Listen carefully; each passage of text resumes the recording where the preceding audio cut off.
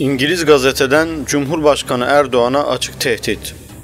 İngiliz merkezli The Guardian gazetesi Simon Tistel imzalı yazıda Cumhurbaşkanı Recep Tayyip Erdoğan hakkında akıl almaz sözlere yer verdi. İftiradan beslenen yanlı yazıda asıl soru şu. Erdoğan kendi gibi Türkiye'yi de alaşağı edecek mi sözlerine yer verildi. The Guardian gazetesi Simon Tistel tarafından kaleme alınan Erdoğan yalnız bir yolda mahvetmek için yürüyor. Türkiye'yi de kendiyle beraber alaşağı edecek mi başlıklı yazıda Cumhurbaşkanı Erdoğan'a çirkin hakaretlerde bulundu. Gazete Erdoğan gücünü yeni Türkiye'yi kurmak için kullandığını söylüyor.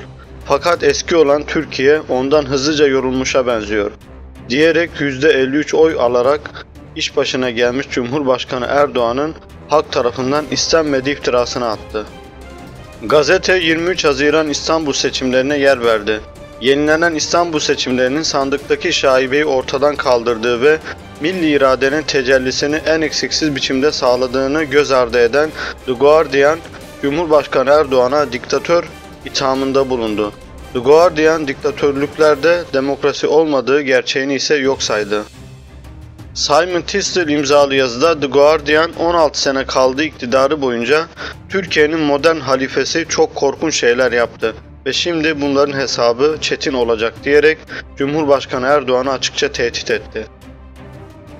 Terör örgütü FETÖ'nün yurt dışından yayın yaptığı bir siteden aldığı haberi de yazıya eklendi Guardian, Erdoğan hala Washington'ın 15 Temmuz darbe girişimini desteklediğinden ve ABD'de bulunan sözüm ona lider Fethullah Gülen'i koruduğundan şüpheleniyor ifadesini kullandı.